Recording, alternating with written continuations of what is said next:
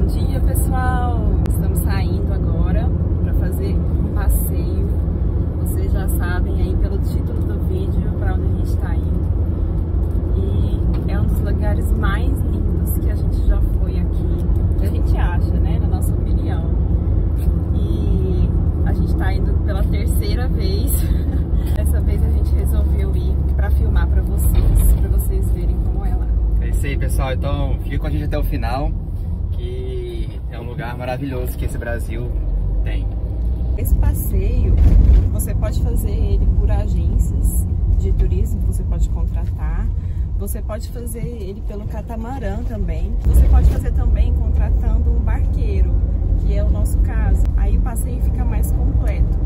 Se você for direto na agência comprar esse passeio, ele vai passar em apenas alguns pontos do delta. E o catamarã, a mesma coisa. E se você contratar a lancha com o barqueiro, é, ele faz um passeio um pouquinho mais personalizado. Não é um passeio barato, né? Mas a gente economiza muito em várias coisas, justamente para a gente poder fazer esse tipo de passeio, esse tipo de turismo, que é um turismo mais de base comunitária. Um tipo de turismo que a gente acaba ajudando financeiramente a comunidade, né, ali nos arredores do delta,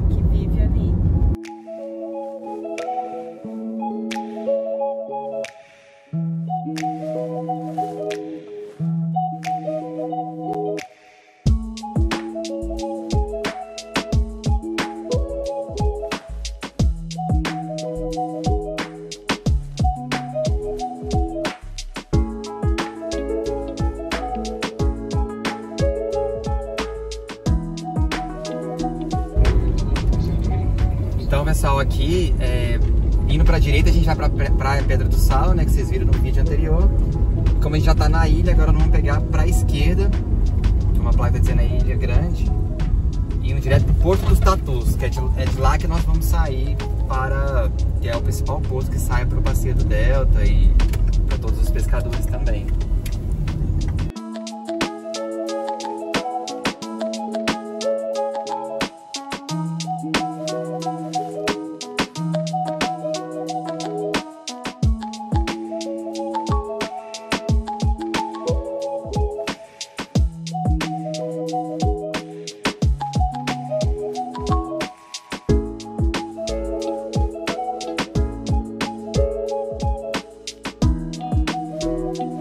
Deixamos o carro aqui em um dos estacionamentos da comunidade. Então a gente está aqui no Porto dos Tatus. É, esse estacionamento aqui, ele é pago 15 reais. Fica o dia inteiro. A gente, falou aí, já teve aqui uma outra vez. E é totalmente seguro. E aqui estamos chegando no Porto Tatu. Bom dia, pessoal! Bom dia! E aqui, como a gente mostrou também, faz parte da Rota das Emoções, da do Parnaíba. O Estácio já tá ali esperando a gente. O Estácio quem vai levar hoje é a gente. Então aqui sai é, os pescadores também, pessoal da comunidade, não só o passeio para o Delta. Essa aqui é a turma que vai com a gente. Fala um oi aí, pessoal. E aqueles barcos ali são alguns catamarãs que fazem a, também o passeio do Delta, mas eles não fazem o passeio completo. Alguns lugares, como a Revoada dos, dos Guarás, não, eles não, esses barcos maiores não fazem. Bom dia, pessoal. Bom dia, E aí, beleza? Bem. Tranquilo? Ó o homem aí. E aí, Stas? Bem. Tranquilão? Vamos lá, mais uma vez. Esse então é o barco que a gente vai fazer a, a passeio hoje. Com o Estácio. É, Fala um oi aí, Estácio. Vou colocar a mochila aqui também. Hoje meu nome é Estácio, tá? A gente vai fazer o passeio do Delta. O passeio tradicional, que é do Rio Pomar, né? E, e até a Reguata dos Corais, que é na Baía da Caju. A vegetação aqui se chama de aninga, né? Essa vegetação. É muito importante, tem que chamar de do rio. Ela é uma proteção natural.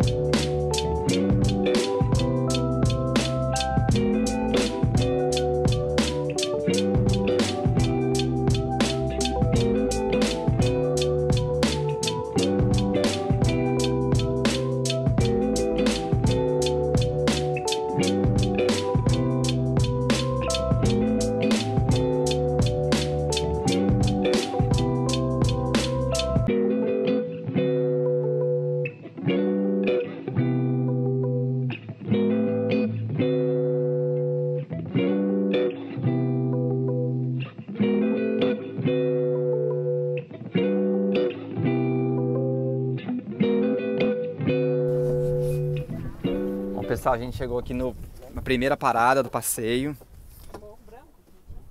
Chama Morro Branco. E aqui nós estamos no Rio Parnaíba. E esse banho aqui, esse rio é uma delícia. E aqui já tem algumas primeiras dunas que formam a paisagem do que é o delta. Então a gente está aqui com o Estácio. É... Tem quantos anos você já faz esse passeio do delta, Estácio? 20 anos que ele é, né, trabalha com barqueiro aqui e também como guia e, né, e trabalha na comunidade. E você estava dizendo aqui agora? Tem um cordão que né, quem toma banho no Parnaíba, o vento é cheio de vida, né? Vocês estão vendo o vento, eu não sei como é que tá o som. Se tá bom ou se não tá legal. A gente fez essa gambiarra aqui no microfone para tentar mostrar para vocês essa paisagem. Então a gente está aqui no Morro Branco, que é uma das primeiras pa paradas que faz com esse esse tour de lancha. Primeiro ponto assim, chapéu, protetor solar, se possível essas camisas de manga longa, porque o sol é muito forte. E essa época do ano que venta muito, que normalmente vai de setembro até o fim do ano, esse vento engana um pouco. Então é muito fácil de queimar e você não quer estragar seu passeio logo no começo, né?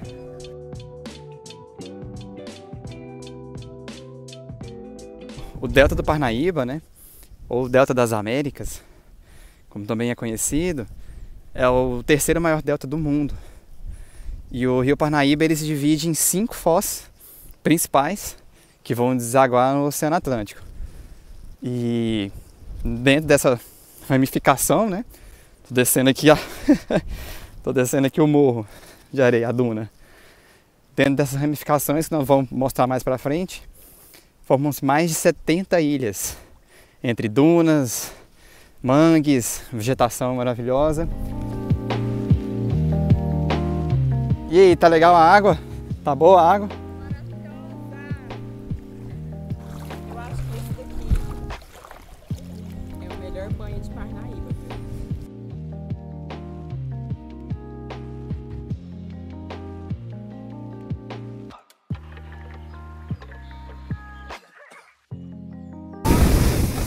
Gente já tomou o primeiro banho do dia e agora a gente está indo para a segunda parada.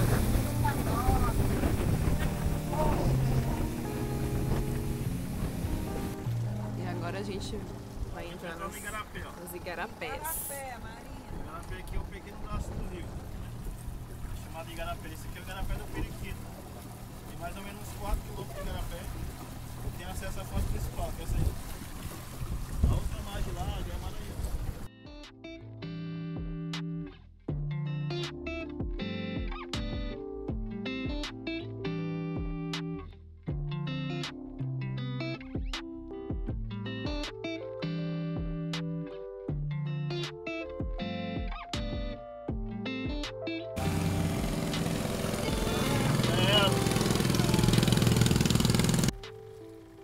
gente entrou aqui agora num igarapé sem saída.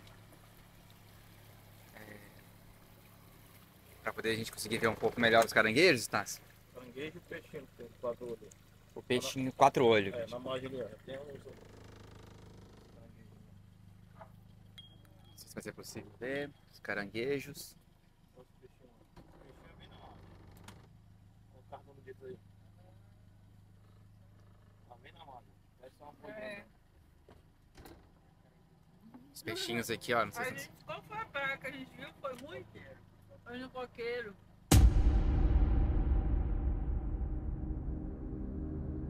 Tem um jacaré aqui agora.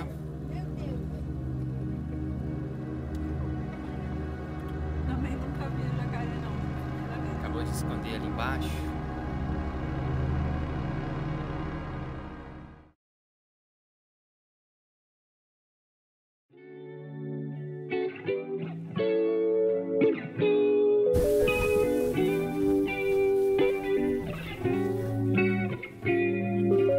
Agora então na foz principal, onde o rio se encontra com o mar. Do outro lado está o Maranhão. E então bem-vindos oficialmente ao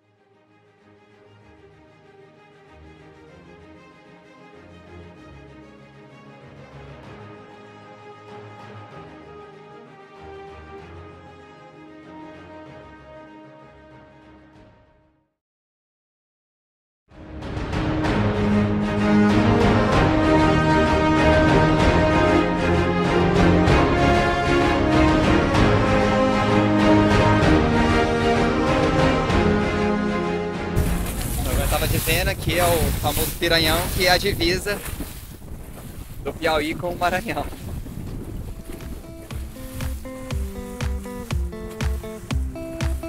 Então a gente está na, na foto principal do Delta do Parnaíba e olha a imensidão desse lugar.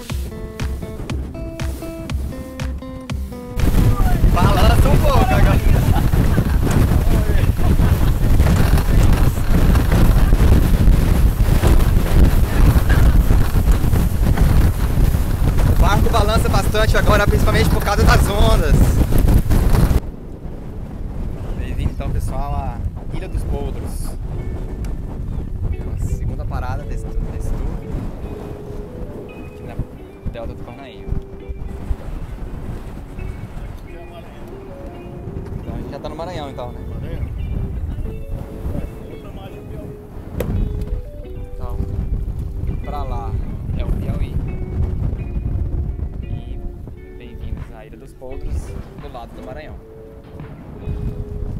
Pessoal aí fazendo kitesurf, né? Como nessa época do ano venta muito, então o pessoal aí aproveita para praticar esse esporte. E aí, Mário, tudo bem? O espaço aqui já ancorou o barco. E logo ali na frente está o mar.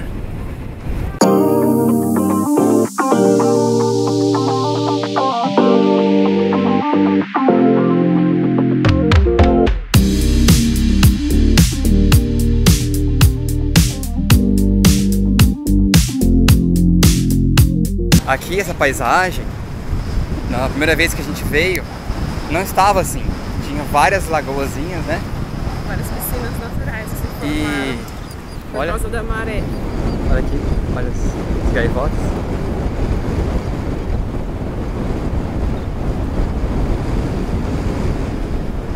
E com essa diferenciação da maré, cada vez que você vem é um passeio diferente, é um visual diferente é, é incrível, assim, é né? Ver o poder da natureza e, e é isso, gente. A gente tem que preservar sempre para que isso se mantenha vivo, né? Para que a gente possa usufruir com responsabilidade.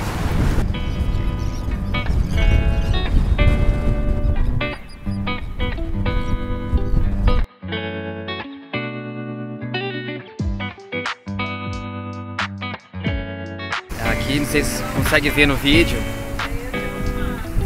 a cor mais, um pouco mais verde, né, é o mar, e aqui o marrom é o rio.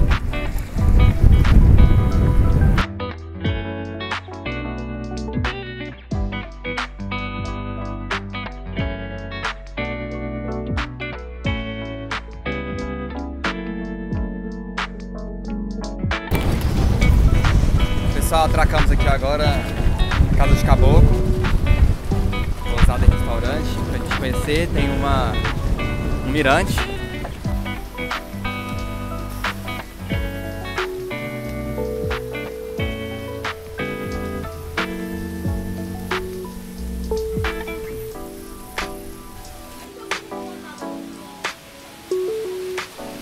A gente está aqui no na lanchonete do Casa de Caboclo. E esse aqui é o pé de...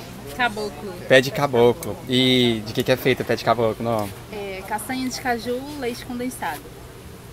Gente, é um super pé de moleque, vamos dizer assim. Eu peguei um aqui, gente. É muito, é muito bom. então agora vamos subir aqui no, no mirante.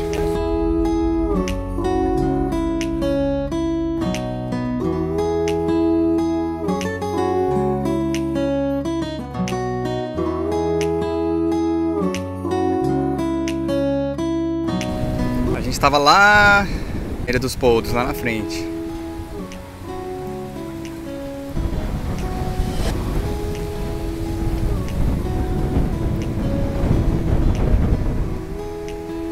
E aqui também a gente já vê, né, a comunidade, nós estamos agora na parte do Maranhão.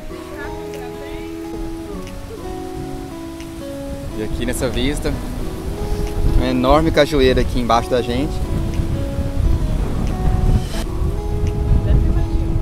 Carnaúba. Não sei o que tem mais, se é cajueiro ou carnaúba. Se alguém souber aí, conta pra gente no, nos comentários. A gente tá vindo aqui um pouco conhecer como é que é a pousada aqui da Casa de Caboclo. É, conversando ali com funcionária diária de aproximadamente 400 reais, um pouco mais, com café da manhã. É, para quem pode, acho que é um lugar maravilhoso, hein? Essa aqui é a principal que a gente foi, né? Tem a do caju que a gente vai daqui a pouco, né, à tarde. Tem a da melancia e tem tutóia. A gente vai percorrer só esse percurso aqui, ó. Aqui é Tatus, né? Passamos Tatus, passamos na Duna. Aí entramos no Igarapé do Periquito, que é essa parte aqui, ó, estreita. E viemos até a Foz. Agora a gente voltou, estamos aqui na Ilha Canárias. E vamos contornar ela. Vamos, vamos, vamos. Tem um povoado chamado Torto, né? Desculpa, qual é o nome do povoado?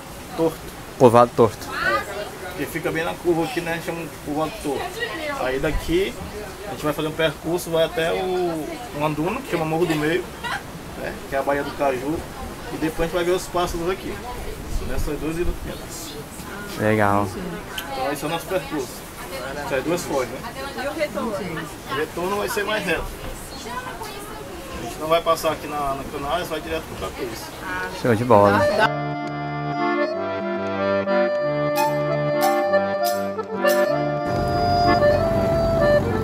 Eles estão dragando o rio para poder tirar a areia do fundo. A areia sai lá atrás da casa para os barcos poderem navegar melhor. Opa! Conseguiu ver agora aqui uns bugios, não sei se dá pra ver na câmera.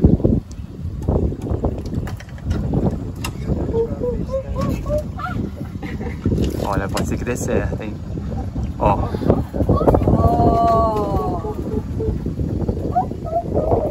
Olha que lindão esse. Ele é bem. Eu acho que eu nunca tinha visto um desse tamanho.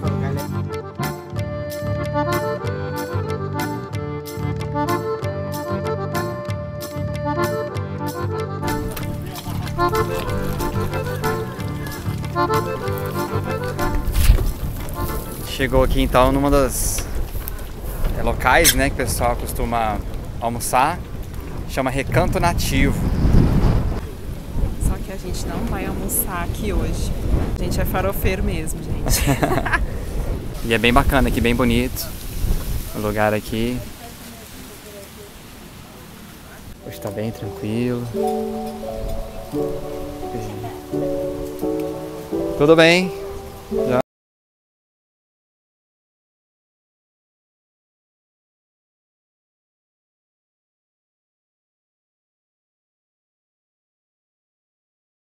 Aqui pessoal, chegou o almoço nossos amigos, que é uma moqueca de caranguejo.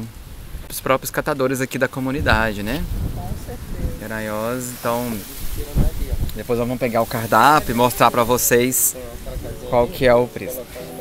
Qual que é o valor de cada coisa, né? Então tem a armadilha dos caranguejos. Ah, sim, ali tem um. Eu não sei se pode chamar de curral também, né? Que o pessoal fala que chama.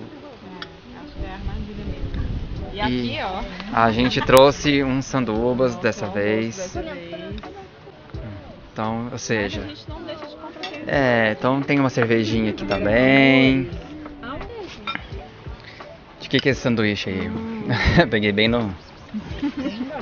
Aqui tem antepasto de berinjela, tomate, tem um queijinho aí e alface, Isso, e pasta de amendoim. pasta de amendoim.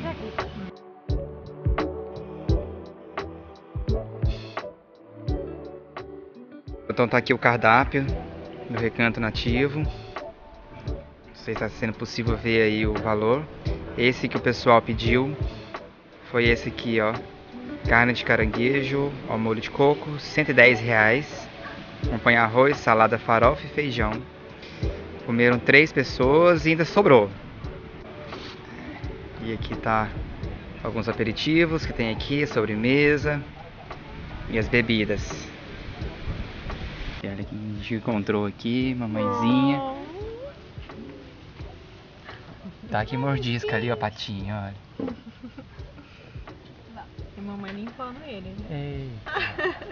Eita.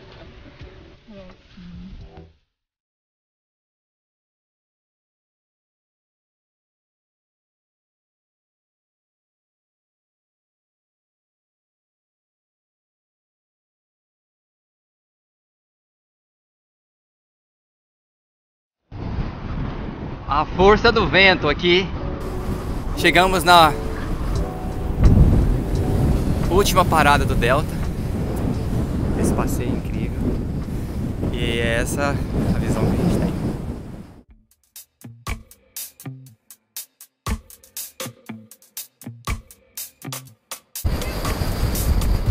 Olha o medo, né?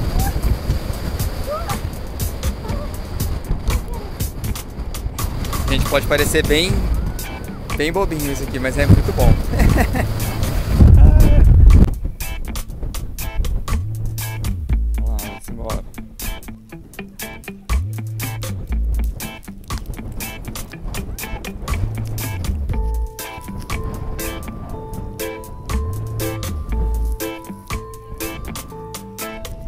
E aí depois de descer nessas dunas, você tem aqui essa praia quase particular.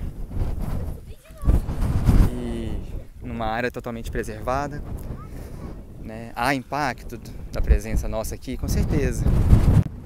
Mas há também um impacto social muito grande e hoje em dia, né, esse turismo de base comunitária, principalmente em cais sérios, acabam ajudando né, a preservar esse local.